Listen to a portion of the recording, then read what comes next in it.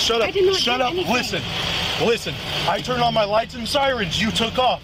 That is a. I- I did be not- quiet. That is eluding. You can go to jail for that. Hold on. Picture this a grandmother frantic and desperate to get her three year old child to the hospital. The child is in the rear in a car seat and appears to be spitting up blood uncontrollably. As she's rushing to the hospital, something terrible happens. A police car appears behind her, lights on, siren blaring. Before she can get there, she gets pulled over, yanked out of her car, thrown to the ground, handcuffed, and put in the back of a police car, where a police officer yells and points at her and degrades her basically. If you do not be on your best behavior, and I mean absolute best, be quiet. I am talking. If you say another word, I'm taking to jail. Do you understand me? You are detained. Be quiet. Shut up. So sit here, be quiet, or else can go to jail today. Okay? Meanwhile, the child is not at the hospital. If you have your, you know, a three-year-old with you in the car and you have a medical emergency, you're driving as fast as you can to get to the emergency room to get to the hospital. A cop car pulls up behind you, tries to pull you over. What do you do? Do you continue on to the hospital or do you stop?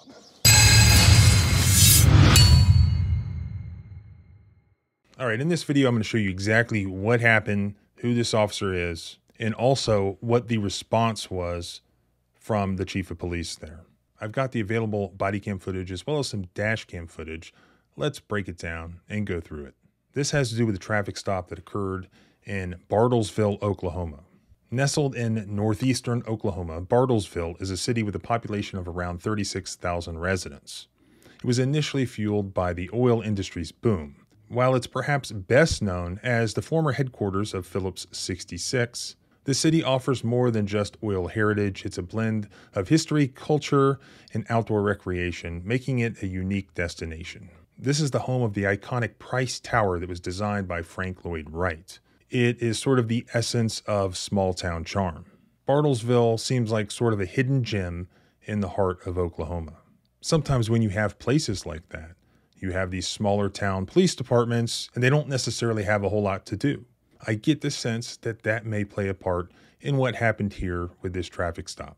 This involves a woman named Misty Armitage. This happened on Sunday, April 14th. She said that she was driving her granddaughter, who was, quote, bleeding profusely from her nose and vomited blood, to the emergency room when Bartlesville Police Department officer Reed Blackard pulled her over.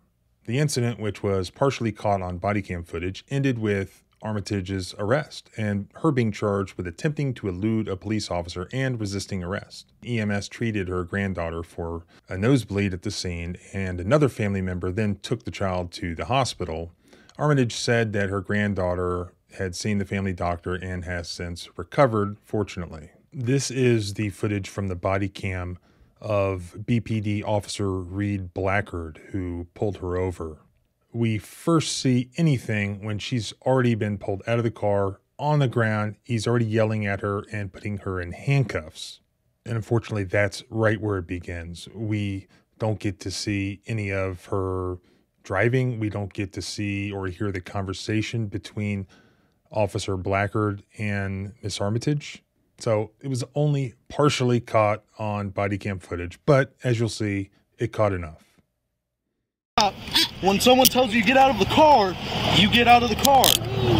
Quit being so entitled. I'm not. Please, he needs to go to. Well, Let me up. Let me up, please. go inside, sit up to You your butt. understand you're not in control here. Stand up. Now you get to hang out in the back of a cop car. he needs to go to the. Charlie, did you EMS now to update you with the bloody? She needs to go to the. Well, make your, make your signature. You don't get to control this in the car. Please. Guys, I Get in the car. Get in the car, ma'am, or I'm gonna yank you in.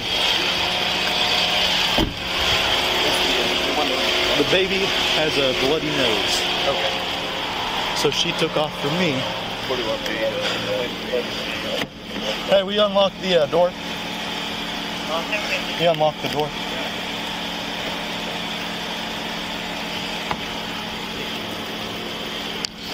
What, she, she assault you guys? Huh? She assault you guys? No, I told her to get out, and she tried to roll up the window on me. Hello. What happened? Yeah. Okay. Did you fall? Yeah. Okay. Hold on one sec. I'm not that kind of person. Listen, ma'am. I, hold on. Be quiet and let me talk. No, she, Move your foot. She needs a. Move your foot. She needs one of her parents. Let me talk. Well, we're gonna get one to talk one to jail. Look, shut I up. did not Shut up. anything. Listen. Listen. I turned on my lights and sirens. You took off. That is a. I- I did be not- quiet. That is eluding. You can go to jail for that. Hold on. I told you to get out of the vehicle. You did not. You can go to jail for that. You then resisted while we cuffed you. So if you do not be on your best behavior, and I mean absolute best, you do not hit on my windows, you do not yell, be quiet. I am talking. If you say another word, I'm taking your ass to jail. Do you understand me? You're going to go to jail for eluding and obstruction and resisting. Okay? You are detained. Be quiet. Shut up.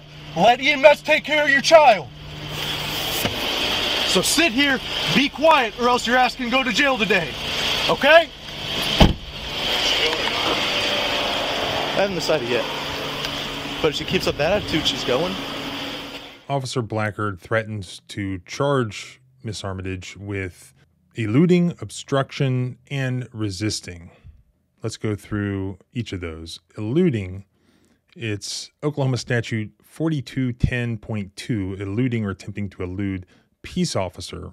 And here's what it requires any operator of a vehicle who received a visual and audible signal, a red light, and a siren from any duly authorized police officer of the state, peace officer slash police officer, operating a vehicle showing the same to be law enforcement, uh, directing the said operator to bring his vehicle to a stop, and who willfully increases his speed or extinguishes his lights in an attempt to elude such officer, or willfully attempts in any other manner to elude the officer, or who does elude such officer, upon conviction thereof, shall be guilty of a misdemeanor and shall be punished by a fine of not more than $2,000 or by imprisonment in the county jail of not more than one year or both. So it's a misdemeanor violation, and there appears to me to be um, some defenses in there if you're not willfully trying to elude the police officer, but you're in an emergency situation trying to get to the hospital. Now let's look at obstructing an officer in Oklahoma. I actually have the jury instruction here. So this is what the government would have to prove beyond any reasonable doubt to convict you of obstructing an officer. First, that you willfully, means you did it on purpose. Second, you delayed or obstructed. Third, Officer Blackard. Fourth, known by the defendant to be a police officer who was fifth in the discharge of any duty of his office. What does it mean to delay or obstruct? So in Oklahoma, words alone may suffice to support a conviction for obstructing an officer. Does she meet it here? Well, does anyone commit obstruction anywhere? It's such a vague um, charge. So the officer was attempting to pull her over for speeding. He says she didn't roll down the window all the way. Whatever, obstruction, okay. Lastly, let's look at the more serious allegation of resisting an officer. So I actually have the jury instruction for resisting an officer. No person may be convicted of resisting a peace officer unless the state has proved beyond a reasonable doubt each element of this crime. The elements are first, that you knowingly, and secondly, by the use of force or violence, resisted a peace officer in the performance of his official duties. So the officer, going backwards, he was, yeah, he was in the performance of his official duties. Um, he was a police officer on duty in uniform, driving a marked car. Did she resist? Well, we don't see what happened prior to the body cam turning on. We don't see any footage of her resisting.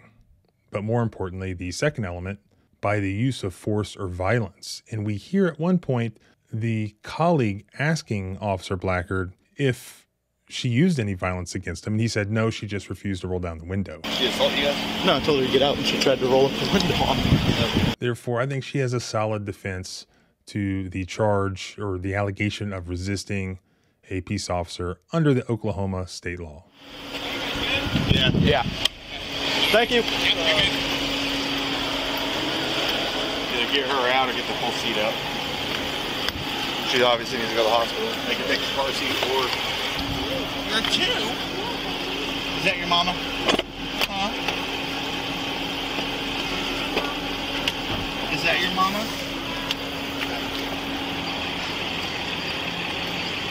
Hello. Baby with a bloody nose. She is two years old. She's talking and she's not freaking out, but she's got some dried blood on her face. Uh, don't know. She said she rolled, but she doesn't really know. So she might have fallen. Mom is very uncooperative, so I'm not sure exactly what happened. But I will try to talk to her again.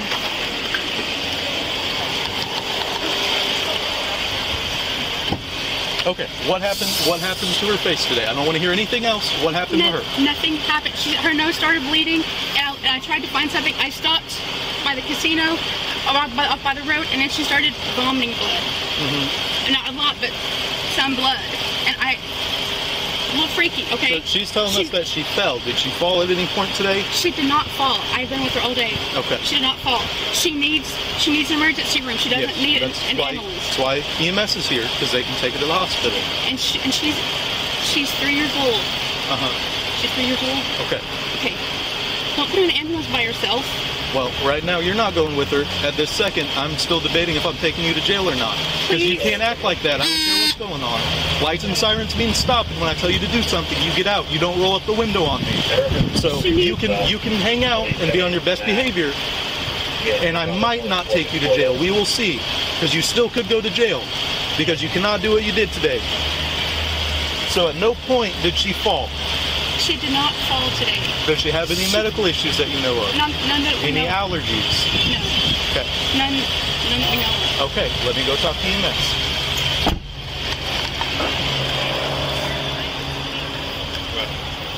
So- decide if she's going or not. So mom says that Get the blood off your face. she did not fall. She said that they were driving. She left the casino and she said that she threw up blood. The mom had her at the casino? That's what she said. Well, she didn't throw up blood because it's coming straight out of her nose. Yeah. So Mom drunk or something? Uh, something's wrong with mom. She's not acting normal. I, I think she's she's going. She's gonna go to jail. Let's find another parent. Yeah.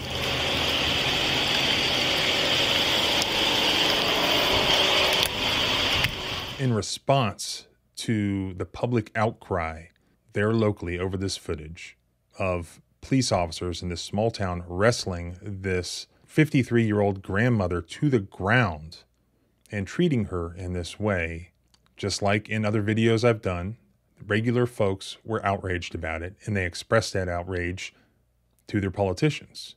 Pretty much immediately, it seems, in response to that public outcry over that body cam footage, Bartlesville Police Chief Kevin Ickleberry apologized for how his officers treated this woman as she was just trying to drive her three year old granddaughter to the emergency room. I was able to find specifically what the chief said. Here it is. The uh, language used, the actions taken by the officer at the moment of taking her to the patrol car and, whatnot uh, is not us. We don't we don't talk to our citizens that way, and, and uh, uh, for that we're going to change things, and we're working on changing things right now to to make sure that our citizens understand that's that's not acceptable. And as you can see, it was just such a beautiful day today. I couldn't stay inside and work all day. I had lunch with my wife, and I asked her if I could interview her, ask her this question. Um, she said no, because she's the type of person, she gets really nervous if she gets pulled over by police, and a lot of women are that way.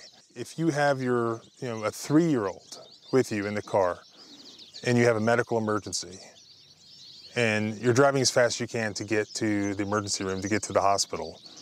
A cop car pulls up behind you, tries to pull you over. What do you do? Do you continue on to the hospital or do you stop? So she had some good questions. Well, what were the baby's symptoms? And why wouldn't I already have called 911 to try to bring an ambulance to me? And those are some facts that, that, that we don't know.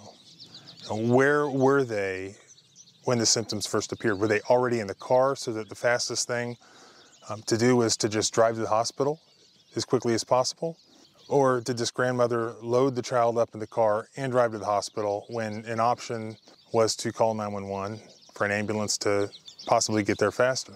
I don't know the answer to that. It sort of sounds like she was already on the road with the child.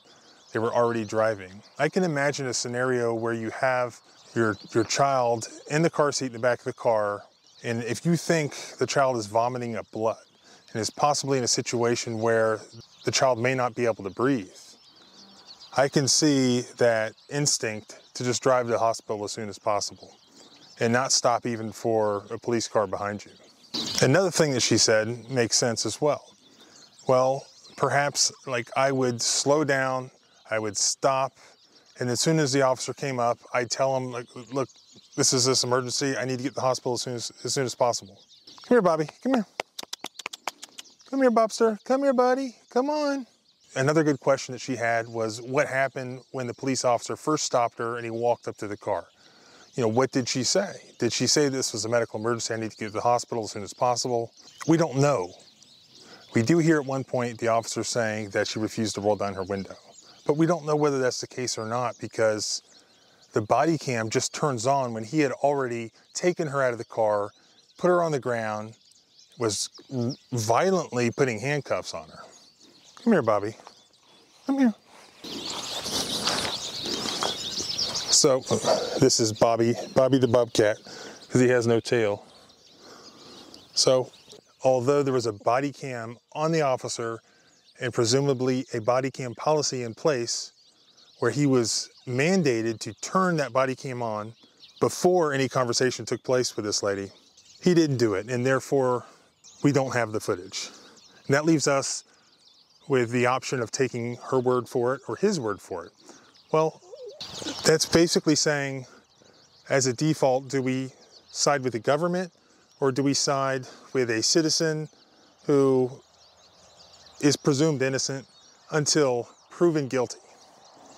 I say we have to side with the citizen, don't you, Bobby? Remember, our rights don't end where your fear begins. Freedom is scary. Deal with it.